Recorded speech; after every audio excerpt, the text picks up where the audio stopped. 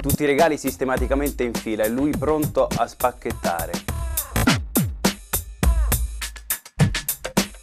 Si allenava da mesi alla faccia da sorpresa che avrebbe fatto quando avrebbe scartato il regalo più grande.